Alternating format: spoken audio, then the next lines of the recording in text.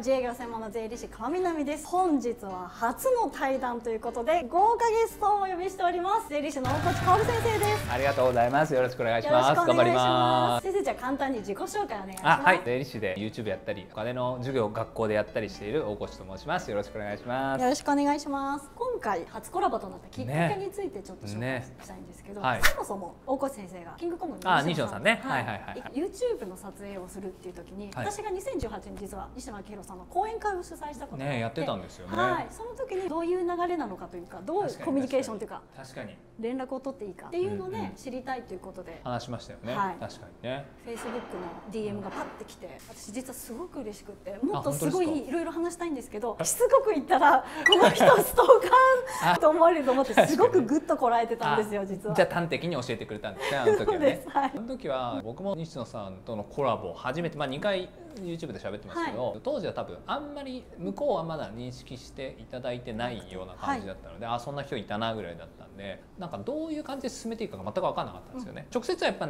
連絡取れる相手じゃないじゃないですか、そうですなのねでまだ吉本にもいらっしゃったので2020年だったのでその吉本のマネージャーさんもいればはい。西野さんのマネージャーさんもいて、はい。みたいな感じでどういう感じで連絡を取っていいか分かんなくて、はい。うろたえていたというはい感じですね。なるほど、うん。そのタイミング私としてはありがたい事件 とありがたい。ありがたい出来事でした、えーはい。いやでもその時ってもう YouTube されてました？その時はえそれまだガチじゃなかったガチではないですね。すよはい、そうですよね。2018年なのでまだガチではないですね、うん。ゆるゆるっと登録っていうかチャンネルを作成してやってた状態だとだからその時はだから僕はオンラインサロンやってて、はい。もうすでに川南さん入っていただいあてたってそうですそうで感じですすもんね。はいオンラインサロンに入っていて、うん。そこで先生が多分2冊目の本を出すっていうことでライブをしてたああですよ。確かにね。その後ねその後確かにはいはい。21年、そうですね、はい。西野さんとの1回目のコラボ終わって、21年の頭ぐらいから、はい。そうですね。そうですよね、うんそうだ。でそこのサロンのライブで2冊目出すんですけど、うんうん。YouTube のチャンネルいろんなところに遊びに行こうと思ってるんですってあいうライブにたまたま私が運のいいことで参加していてコメントなんか残した時に「あそうだ。亀波先生だ」って言ってくださって。確かに。いやでもあれ結局僕言い言ってないですね。どの YouTube にもよく考えたら、うん、私もそれ思いました。もっなんかと宣伝しろよって感じですよね、うん。何やってんだなろうな。などうしたんですか？あのやろうと思っていたいろんなチャンネル遊びに行けますって言ってたじゃないですか。確かにね。だから売れてないんだろうな。もっとやっぱり売れてなくはないですよ。価。いやいや過小評価されてるんですよこの本。まあ後ほどちょっとお話ししたいんですけど。もっとねあと10倍ぐらい売れてもいいと思うんですよね、うん。だからやっぱり僕の宣伝不足なんでしょうね、でも今日これだからよかったです今日はねたっぷり川南視聴者にちょっとこれをね知らしめたいと思いますね、うんうんうんそうなんですよ。これがきっかけで対談することになりました。一冊目との違いってちなみに何かありますか？えっと内容はもう完全に漫画で税金を学ぶのが1冊目で、はい。はい。2冊目は漫画でお金全般を学ぶっていう感じなんですよね。それが内容としては全然違って、まあ、作り方はでも一緒ですね。出版社も同じ、ね。座組も一緒漫画家も一緒なので、はい。作り方は一緒でしたね、うん。ただ2回目はそのオンラインサロンが僕にあったので、はい。そこでこう議論をしたりとかはあったし、はい。そのオフ会とかをして、まあ、大衆というかサロンメンバーの方々がどんなところでお金につまずいてるとか、お金の悩みがあるかとかも聞けたとかあとはそういうライブでこういうふうに販売戦略するんだよとか言ってこういうねはい。きっかけとかもあったっていうのはやっぱ大きかったので、うんそのコミュニティの力っていうのはすごいありましたね2冊目はね。でもやっぱり1年目だけで勝負すれば、まあ、2冊目の方が売れてるんですけどはい。でも1冊目が売れてるのでうんうんうん2冊目は売れてるっていうかそれはあると思うのでやっぱりねもっとねやっぱ頑張んなきゃいや今ちょっとね ドキッとしましたね。確かに言ってたもんな。YouTube いろんな YouTube に出て宣伝するって言ってたのに、はい。ね。何一つ出てない気がしますね。で唯一がここですよね。確かに。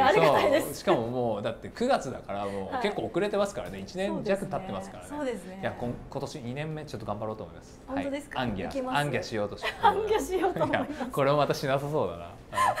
そんな予感もしますね、うん。でも僕結構やってるのは、いつも書店用の名刺っていうのは持ってて街歩いてて本屋見つけたら入りますよ、あそうなん飛び込みますね。で見てあったらはい。挨拶するし、なかったらなんとか頑張って「あの、はい。こういう本を出してる著者なんですけど」って言ってアタックするんですかアタックしますよ。それがねやっぱ重重要なんですよ。でも置いてない本屋ってあります？全然ありますよ。ちっちゃい本屋とかそのなんかチェーンじゃない本屋とあなかるほど。あ全然ありあます。るんですね。全然あります。え一冊目はでもピンクの方はほぼ税金コーナーがあれば置いてありますねね。絶対。税金コーナーでもない時あるじゃないですか。駅のうん。うんうんほんとちっちゃいところとか、うんうんああいうのはないので、でもビジネス書があって、うん。もう大体ビジネス書税金コーナーって知り合いの本がたくさん置いてあるので、い。やこいつのが置いてあるならっていう感じで飛び込む感じですね。なるほど。でその努力ってやっぱ重要ですよ。本当に。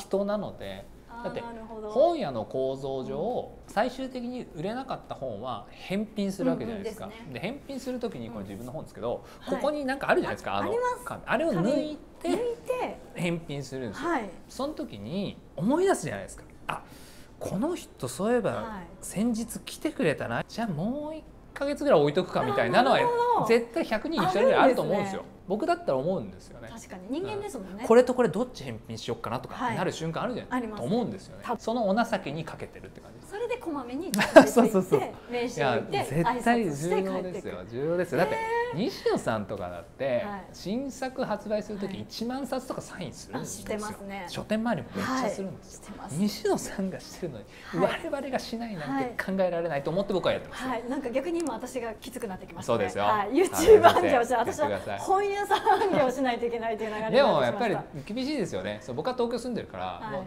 う歩けばすぐ本屋にぶち当たるんですけど、うんうんうんうんそのなんですよ。東京じゃなくて地方だと別に歩いてても本屋はないじゃないですか。ないですね。そうなるとやっぱり本屋巡りって大変ですよね。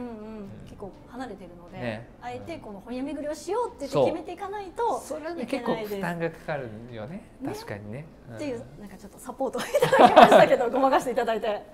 この間なんか2回目の西野さんとのコラボで、あそうですね。話の動画見たんですけどね。あれすごく面白くてなんか西野さんはクラファンをしろと、ああ子供たちにね、はい、子供たちに。に。で大越先生は子供たちにメルカリをしろという話がすごうんうんうんく共感というか面白いなと思ってぜひ。子供にやらせてください。ね。ちょっと私の子もまだメルカリデビューさせてないので、まあメルカリとクラファンやればなんか、うん。その商売の基本がわかる気はしますよね。なんかいろいろすっ飛ばしすぎ感はあるかもしれないんですけど。うんうんうんいやいいと思いますよ。その選択肢としてなんかお金って稼ぐみたいな、うんうん。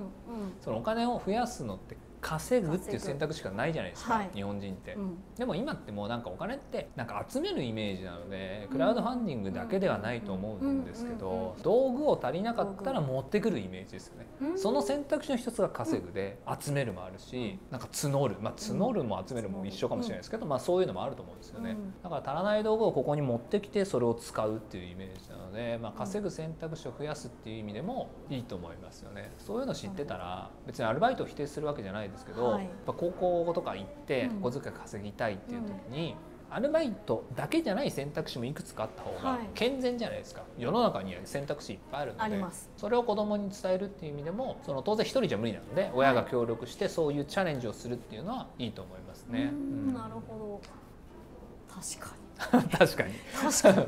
メルカリさせてみようかなっていういやいいですよ。だっていやメルカリ僕が子供いたら絶対させますけどね、うんだって子供って今追いメインを見てるぐらいでのイメージですけど、い、らないものってすぐ出るじゃないですかやつら、はい、出ますね。う。んそのおもちゃ新しいおもちゃもあはい。使い、使ってはい使って、はい。もういらない、でそれっておもちゃ箱に入りっぱなしですよね、いらないものがあるのに新しいものは欲しがるじゃないですか。欲しがります。だからじゃああなたねといらないものまず売りなさいと、はい。でそのお金で、まあ、足りなかったら親が援助してあげるからそれで新しいもの買えるよって言ったら喜んでやる気がするんですよね、それに味を占めたら多分いらないいらないものを多分いっぱい売ると思ううんし、順番に、うん。最終的には親がいらないものを子供に与えればいいんですよ。これも売り飛ばしなさいと。ああなるほど。これお母さん使わなくなったそうそうからそう。これ持っどうぞと。売ていいよ。っていいよと。で売ったそのはい。じゃあ2割私にいただければいいのであなるほど親は8割あげますよみたいな。親にちょっとキャッシュバックするんですね。そうそうそう。あそうかそういう手数料ビジネスで私の親は稼いでるのかみたいな、はい。そういうなんかビジネス構造とかも勉強させられるので。でメルカリって値付けとかしなきゃいけないじゃないですか、値付けってしたことないんですよ。難しいですよね。いやほとんどの大人したことないでしょう値構した付けなんてことないと思いますだってサントリーで例えばね新しい製品が出ますって言ってうん。値付けをするのはもう偉い人じゃないですか、もう一部の人たちで、はい。営業マンが値付けをしないわけで、うん。でもメルカリで例えば本一冊出す時も相場見ないといけないし、その中で売れる値段決めなきゃいけないし、はい。そのなんかマネー感覚っていうのは、う感じですかね。ものすごくいいと思いますね。誰しもが個人事業主になるわけじゃないですけど、うん。なった時にすごくプラスになると思いますよね、はい確かに。なんか今のとこって事業の方私お客さんで多いので見てると、やはりなんて言うんだろう大人になってから初めてお金の勉強をする、ねね税金の勉強する、うん。経理の勉強するってすごく多くないです、多いと思うし。でやっぱり大体値付けはうん。安くなっちゃうんですよね。ちょっとこうしたっていうか自信がなくて。そうですね。それよくありますね。ありますよね。もっと高くいけば、うん。もう最初に高くしないと、うん。っていうか最初に適正な値段をうん。つけないと上げづらいじゃないですか、あそうですそうです。後からねそうで自利品になってくるんですよね、はい。で価格競争に巻き込まれちゃうので、うん。だからそういうなんか根本的なリテラシー教育になると思うので、うんなんかそれをまあ学校でさすがにみんなでメルカリしてくださいまでは多分発展はしないと思うんですけどですね。でもなんか夏休みの宿題でクラファンしましょうとかメルカリしましょうとかは、はい。なんかやってる学校も多分あると思いうんますし、まあ、西野さんがまさに夏休みとかで、ねはい。子どもたちと一緒にやったって言ってたので、まあ、そういうのがなんか増えていくといいなって僕は思いますね。うん。実践しないとビジネスとかお金の流れってわからないですもんね。わかんないですよだって僕らも別に税理士ってお金に強そうだって思われるじゃないですかうんでも実際のところ税金には強いけど、うんお金に弱い人も結構多いじゃないですか。そうですね。いねると思います。なくても今一生懸命やったからここにいるとい うだけあで、勉強したってことですね。値そう付けの勉強、そうあの営業の勉強。そうそうそうそうだからなんか勉強すればうんもう絶対誰でもお金に強い人になれる、うんまあ英語とかもそうなんですけど、勉強すれば喋れるわけじゃないですか、しかも大した努力がいらないって言ったら失礼ですけど英語喋れるまでに必要な努力とお金強くなるまでの努力って後者の方が圧倒的少なくていいじゃないですか。確かに。ちょっとの努力で結構花開く気がするので、お。金の勉強はねもうしてほしいですね、うんうんなまあ、親も当然したことないので親子で一緒になんか、まあ、親子ってこうなっちゃいけないと僕は思うので、はい。こうなって一緒に勉強するっていうのがいう。いいと思いますね。先生の YouTube だと完全にもう日本のマネーテラシーリタラシーを上げたいっていう活動をすごい振りそうです切ってしてるともう思うんですけど。最近はそうですよ。もう再生数登録者数を無視しもう日本に必要な発信だけをしてるって感じですね。すごいですよね。そこまで振り切れるっていう。あーでもやっぱり必要なことだからですかね、うん。日本に必要で、僕にお金の余裕がなくなったらできなくなるんですけど、はい。うん。子供たちに今の社会を渡したくないっていうのがやっぱり一番ですかね。うんなるほどそこの使命感、お子さんになんか不安にならないですか？今の日本よりほっといたら良くなることって絶対ないじゃないですか。ね。はい。でも20年後、うんうん。成人するとか、はい。社会に出るわけで、うんうん。そんな厳しい世界で、うん。我が子が生きていくのかって思ったら、うんちょっと切なくなりますね。ですよね心配です。そうです。だからそれを社会ごと変えようっていう話です。あーなるほど。壮大なスケールのうん。話を、僕一人じゃ無理なんですよね。誰か続いてほしいなと思うんですけど、うんうん。うんこれはねうんなかなか続かないんですよ。そうですよね。大河内先生以外でそういう話されてる方います？いやあんまりいないんですよねいないですよね。もこれはもうこんなんか当たり前なんですけど理由あって、うんうん税理士のはい YouTube って後にめっちゃ続いたじゃないですか、い、ろ続きましたんな人が、はい。なんでかって言ったらこれお金になるんですよ。ビジネスになるから続くんですよね、持続可能なんですけど、うん。僕がやってる活動ってうん。ビジネスにならないので誰も後に続かないですよ。なるほど。そうそうそれが理由なんですね。そうやりがいとあのなんだろう。使命感。だけなので、変えたいという思いだそうそうなんけですよねだって学校の授業 YouTube で上げますって言ったら広告つけられないし、あ確かに。金融庁の資料を使って勝手に授業しますって言ったら広告つけられないし、ですよね。まああと顔 NG とかね出せない問題とか撮影自体がダメですって断られる学校さんもありますよね。ありますあります。で学校は当然特に公立なんて予算ないので、はい。授業行きます、うんうんあ依頼されても当然報酬はないので当たり前ですけど全部の授業は基本無償なのでこれをなんかできる仕組みは作んなきゃなって思いますね。僕は別に無償でいいんですけど後に続きたいって思う、なんかせめて日当ぐらい出ればやりたいっていう使命感がある人は多分たくさんいると思うんですよ。う。確かに。ちょっと税理士会の租税教室みたいな感じで、そうそうですそうです日当が日当が出るぐらいだったら、ら、出るんだったらやるかなっていう人は多分いっぱいいるので、うん。なんとか行政からその予算を引っ張り出してっていうのはやんなきゃなと思いますね。うん。今の課題ね。うん課題ですね。ど。うんそうなんかこんな感じに気づいたら仕上がってましたね。気づいたら仕上がってまし いやた。昔はなんかもっと億万長者になりたいなとか、なんか豪華な暮らししたいなとか思った時時期もあったんですけど、気づいたらこんな仕上がりになりましたね。全然なんか欲がもうなさそうですもんね。なんかねやっぱ子供が好きなんですよね。かわいそうじゃないですか。てか恥ずかしいですもん。だってこの社会を子供に「はい次の世代にどうぞ」ってこんな社会渡せます？うんなクソ円安で確かに。なんか政治もむっちゃくちゃで、はい。で大人全員お金に弱いみたいな。いやこんな社会子供に渡す時にもうもう恥さらしですよ大人としたらね。確かに大人全員お金弱いってちょっときついかもしれないです。で僕が変えられるのはお金の部分だけなのはい。でやってるんですよ、でもこれってでも誰しもができるものではなくて、はい。当然自分と自分の家族に余裕がないというか、うん。それだけで精一杯にはできるわけないですよね、うん。目の前の生活があるので、うん。ただできる人もいっぱいいるわけなんですよ、はい。余裕がある人、余裕がある人はじゃあやろうよ。で僕も余裕なくなったらやめるんですけどあなんとかややめますよね。無理です。無理死んじゃうから。な無理なんですけどただ、はい。余裕がなくならないようになんとか自分の生活費は確保して、他でお金をいっぱい作って、それをそっちに全部ぶち込むっていうのをなんとかやっていきたいし、うんあとは行政のお金っていうのを引っ張り出したいと思ってますけどね。なるほど。うん。いややんないと本当にしんどいことになっちゃいますよ。うんうんうん。うんうんなんかその活動を広げるって意味ではこの間先生ちょっとはい。テレビ出演されてたじゃあないですか。確かに確かに。はい。あの世界一。はい受けたい受け授業たい授業。いやあれは良かったですよね。反響ありますか？やはりこの本業に問い合わせが来るとか例えばそのなんかそうです？すね。なんか本業の方は、まあ、おそらくテレビに出たら、はい。全国ネットのゴールデンですよ、うん。出たら大河内薫っていう名前検索が多分来ると思うのでほ4つ目ぐらいにホームページがあったんですよ。会社のね。四つ目ぐらい。Google 検索の4つ目ぐらいに、まず会社のホームページめっちゃ変えましたね。反響用に。あ反響用に。事前に変えました。そう。ちゃんと準備してたんですそう。ねだからその税理士の業務受けてないので、はい。受けてませんってしっかり書くとか。あもうそこはホームページ見たら新規はお断りですよって分かるようにしておいて。だから本やって本書いてるあ YouTube やってるとか、学校の授業やってるってことを前面に、うんお金の教育を考えてる人間ですっていうことは、その反響用には変えましたね。でもねやっぱり反響はたくさんあって、やっぱり本がお金の方だったのであの、はい。2冊目の漫画で学べるお金の方が発売と同時ぐらいのアマゾンの売れ売り上げがありましたね。ドーンっていって1日2放映日ぐらいですけどそうですね。えーだから結構売れたしあとはやっぱ TwitterYouTube のフォロワー増えましたね、インスタも増えたかな、うん。あじゃあ全体的にぐっと増えました、ね、SNS もぐっと増えた、うん。ねやっぱ影響力あるんですねありますね。テレビって。コメントもくれますしね。やっぱライブとかだと、うん。世界一受けたい授業から来ましたみたいな、ああもうリアルに分かるって感じですね、初見ですみたいな。ねそれもなんか書けるというかちゃんとしていて、うん世界一受けたい授業が PM9 時に。終わって、はい。9時からライブやったんですよ。あしてましたね。なそうそうそう、はい。そこに待機でやっぱりもう300人ぐらいバッて最初に待機してたので、はい。つもは300人待機ですか？そう。いつもは30人しか待機してないんですけど。ゼロ違いますけど。300人待機してたんであこれがテレビかと思って。やっぱすごいですね反響テレビってやっぱすごいですね、うん。YouTube との親和性ってあんまないと思ってたんですけど、うん。テレビはテレビ YouTube は YouTube だと思ってたんですけど、まあやっぱり結構あるんだなっていう、てかうん一番大きいメディアっていうのは分かってるので、うんはい。我々、まあ、そこに対してお金の教育っていう話はしなきゃいけないなうんって思ってたので、うん。うん。まあいいうん。そのチャンスはもらえたかなと思いますね。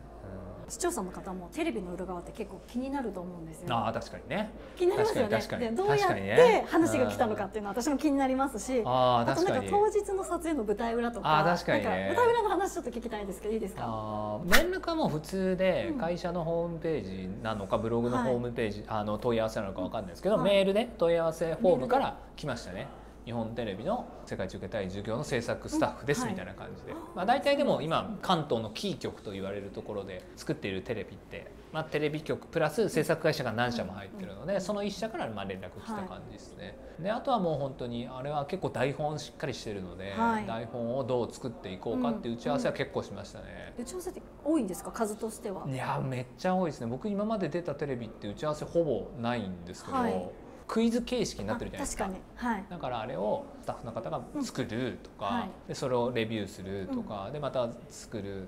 で、まあ、日本テレビの許可とかまあいろいろまあ多分ある大人の事情ですねよなんよくあるはい。テレビってなんか生放送とかだとじゃあ明日出れますかとか当日の朝今日の夜行けますかとかよくあるんですけど、はいあれはもう本当1か月以上前に連絡来てましたね。ああやっぱりゴールデンの全国ネットってすごいなって思います、作り込んでるんですねうん台本もしっかりでしたし打ち合わせも何回もありましたね。関わってる大人の数がやっぱ尋常じゃないですよ。なるほなんか当日緊張しますよ。だってどですよね緊張しますよね。緊張します。さすがにねテレビは緊張するんですよ。生放送の全国ネットと、はい。まあ、収録はね言っても編集できるのであんまり緊張しないかなと思ったんですけど芸能人の方々の顔ぶれと、うんあと人数半端じゃないのでスタッフさんの。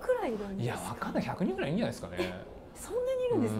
うん多分、まあ、上とかにも当然いますからね。見えないところにもね、だからそれにはやっぱり緊張しましたね。ん。でもなんかカメラ回し始めたらもう最後までって感じですよ、まあ、多分1時間弱撮って30分ぐらいの放送になってると思うんですけど。縮めてるうん。編集かかって。1時間カメラ回してる時間は、はい。そう1時間ぐらい1で短いですけど、まあ、ただ待機時間とかカメリハとか含めるとやっぱり拘束時間は長いですね、でもどれくらい拘束されたんですか？僕はねはい6時間ぐらいじゃないですかね、え出番何分ぐらいですか？でまあ30分ぐらい。まあ、カメラ回したの1時間ぐらい1です、ね、時間。でもこれ運もあるんですよね。運もある。運もある。そのテレビ番組ってそうそうなんですよ。あれっていえっと一番組1回の放送で先生2人じゃないですか、はい先生二人です。2本撮りなので先生4人なんですよね、あ日本撮りなんですね。先生4人なんですよ、はい。でカメラが一番頭にあるんですよね、はい。頭にあってで1人ずつ先生が撮っていくので、僕は3番目だったので結構待ったんですよ、一番上に入った人は多分あんまり待たなかったので、まあ、運は悪かったなって感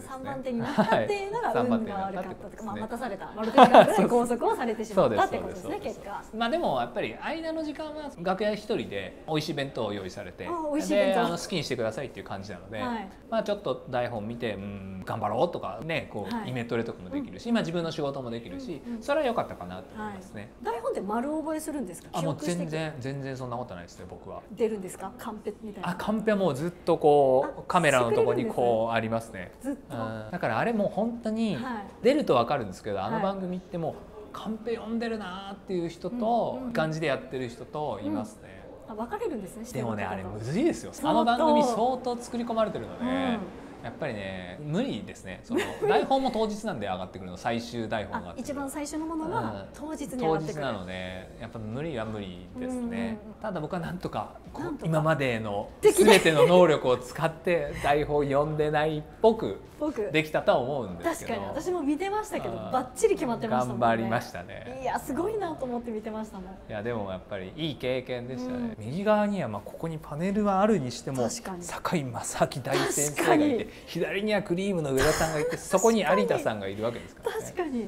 や結構やっぱり緊張しましたねやっぱうん。独特の空気感なんですか？入った瞬間って、芸能人の方も多いじゃないですか。そうですね。もうなんか僕以外の人たちは結構仲がいいというか、うん。長寿番組ですしそれはあるのでで僕はその先生専用のドアからバッて入っていくのでカメラが回り始めてからはい。スタジオに入るっていう感じなので終わってすぐ出るって感じなので、まあ、交流する時間はないですね。あないですねすれ違いほぼ、うん。もうほぼすれ違いですね。ありがとうございましたとかいうぐらいで。でもやっぱりその僕がこうピンマイクとか外してもらってる時にわざわざ挨拶に来てくれる方とかもたくさんいらっしゃったのでねいや皆さん礼儀正らしいなと思ってうん。本当素晴らしいなと思ってうん見てましたけどね。なるほど。じゃあ全員揃ってのリハはしないってことあ全員揃ってのリハはしないですね。カメリハの時はもう全員そのスタッフの方ですね。あ。堺正明先生役大先生役、はい。上田さん役みたいな。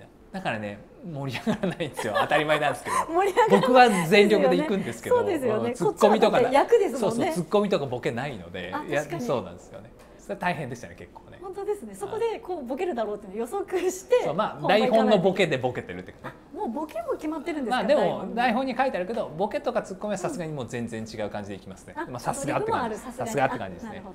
面白いですね。いや面白いですよ。いやでも来るんじゃないですか？いやどうでしょう。特にまずは地方から。地方からです最初どういった形でスタートします？テレビの出演の一番最初はあれですね、本当一番最初はもう骨ですよテレビ。本当に骨で会計士税理士の山田真也先生が出れない番組があったので僕を紹介したって感じですね。それがテレビ朝日のはい。夕方の報道番組だったんですけど、夕方のはい。2019年の徳井さんが脱税でね。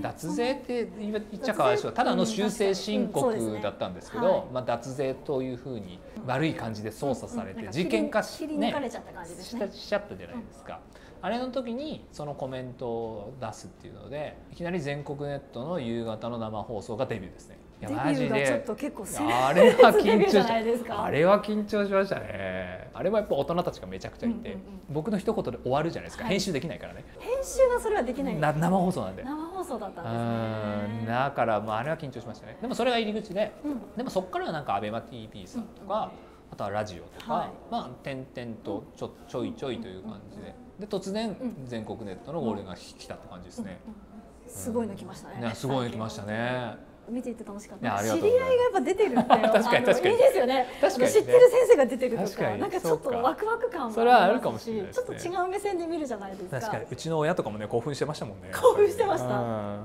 でも T シャツはダメだったんですいややっぱねあれ難しいですね。ですよ T ねシャツアベマさんはいつも OK なんですよ、うんうんテレビ朝日さんとかはい日本テレビさんとかで OK が出たことはまだないですうんね、ないですね。でいつかあると思うんだよな、うん僕次第だと思います。僕がいっぱい出るようになれば、はい。多分いけるんじゃないかなと思って徐々に解禁されうんていくっていう感じですか、あり今日もね。今日もこれですね T シャツ着て 着てきてくださってますけど。先生もね本2冊目出してるんでちょっと紹介。これお金を、まあ、学ぶ本なんですけど漫画なんですよね、うんはい。で今書店のお金の本のコーナーって多分たくさんあるんですけど、うんうん。お金の本を漫画で学べるっていうのってほぼないんです、ないですね。でこれ完全にギャグ漫画で、うん。お金を全く分かんない人が主役で書かれているので、ぜひぜひ日本のなんか年金制度とかね、あとは投資ってどうやってやってったらいいのか。はい。税金の話とかも出てるので、ぜひまずははい。立ち読みをしていただいて構いませんので 立ち読みして自分に合うなと思ったらはい。手に取ってほしいなと思います、はい。でも漫画で学べるってやっぱ大きいですよね。いや大きいですよ。こ業れ界的にも初めてじゃないです。かお金は結構、まあ、あるんですけどそうなんですよ。あるんですけど漫画になってないっていうか、うん。説明文を絵描いて吹き出しに書いてるだけっていうのはいっぱいあるんですけどうん漫画じゃないんですよね、は漫画になってるのは多分ほぼないと思うので、うん。これはもう本当に自信作って感じですね。ですやっぱ大変なんですよ。